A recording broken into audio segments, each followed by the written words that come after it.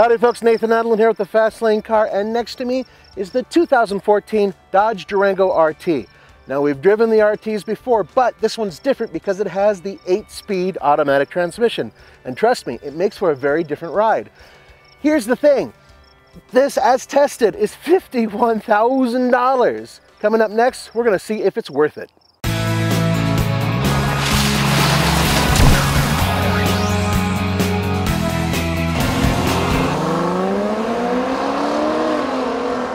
Best part of this entire vehicle, and that's the Hemi 5.7 liter V8 that puts out 360 horsepower and 390 pound-feet of torque. It's hooked up to the brand new 8-speed automatic transmission, and it makes for a very different type of ride. This is a much more flexible vehicle than the one it replaces. With the 8-speed automatic transmission, even though it's hooked up to all-wheel drive, it gets between 14 miles per gallon city, not so good, and 22 miles per gallon highway, which is pretty good. You combine those, you've got 16 miles per gallon, not too bad. Now, in terms of towing, 7,400 pounds. Once again, pretty damn good. So as a vehicle that's built to encompass sport, utility, and everything else, and have a little bit of masculine cojones, this baby does well. So I have the Monroney here, the sticker. And I bet you're wondering why this vehicle cost as tested $51,060. There's a very good reason for it. There are options. They optioned the hell out of this. And that's where the value of this vehicle comes in because the base price for the Durango RT all-wheel drive is $41,395 realistically, you're never going to find one that price. You're probably going to pay, with a couple options, say around $45,000, which is, considering what you get for this vehicle, pretty good. It's not too bad. It's not bad at all because you get so much for the money. If it's, oh, something like a, um, a Yukon, the GMC Yukon, you're going to be paying a lot more money for those details and for those features. All right, I'm going to wave. Hello park ranger. I'm going to drive past him, and hopefully he'll leave us alone. I'm worried that he's going to bother Andre. Not because of the way Andre speaks, but the way he dresses. Anyway, in terms of an overall package for the money, I cannot think of another SUV that gives you this much driving performance, both on and off-road. We've taken one of these off-road, and it did just fine for what it was.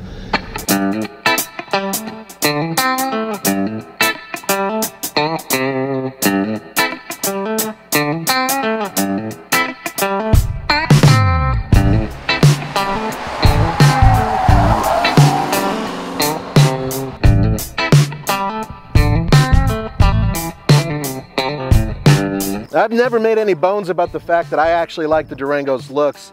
I also like the CX-9 from Mazda. I even like the way the new Ford Explorer looks. But this one to me sort of says, I'm kind of badass, just a little badass. And then to add to that, you get painted 20 inch wheels and a new front end that is a little bit more aggressive than the last front end, which was already aggressive. The rear end is also unique and new. So altogether, this is one of those vehicles that makes you look a little bit more badass than you already are. I love this vehicle, I truly do. But there are a couple of minor issues. One of which is this rotary dial for the transmission. I'm sorry, I, I just, I, I dislike it. And I pretty much dislike it on all vehicles that it comes on. Now you can get them on Jaguars, of course, and most Dodge vehicles now have this rotary thing. And I just, I don't know. I'd rather have something I can grab onto, a handle or something like that. This just doesn't feel right to me. That's a personal thing, but I know that some of you out there would agree with me. And another issue that I have is the interior color because it is painfully black. Look, this is a cool truck and it has a really well designed interior. I like it because it's sort of a minimalist approach. It's got metal or fake metal inserts at least it doesn't have the fake wood and it just it looks awesome. But at the same time with all the black and everything is black black black black I don't know it just looks like everything's like a cave you know? If they added some other colors to the interior I think that this would be a much more civilized feeling vehicle. It's almost like a pressed you know what I mean? It's like kind of dark and dank like a dungeon. Sorry but you know, I've noticed that on other vehicles in the same class, And at the same time, when I'm in a CX-9 and it has that nice white interior, even though this is probably a better built interior in terms of overall quality, the Mazda interior is more pleasing. And there's more. Um, I love the way it drives, and I love the fact that it can get up to 22 miles per gallon on the highway. That's great.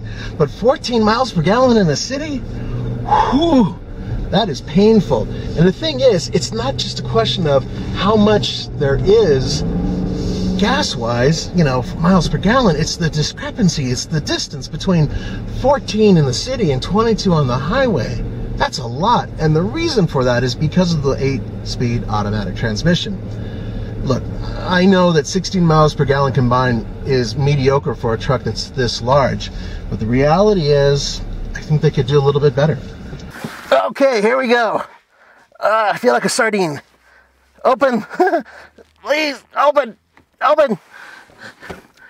Come and open it. Get me out. There it goes.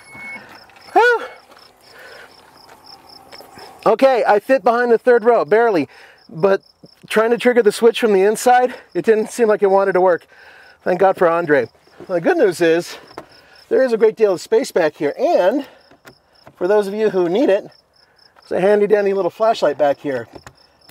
Unfortunately, this isn't quite as big as some of the competitors, including the Tahoe and even the Explorer. But, hey, at least my big ass gets back here.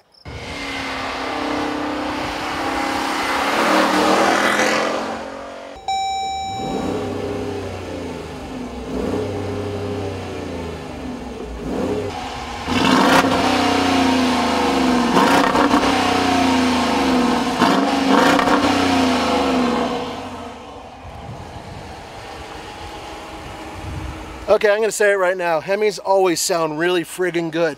This sounds a lot better than the Yukon we recently tested. And it's got a little rattle after it that just is so badass. And it sounds especially good from inside the cab when you're going full out.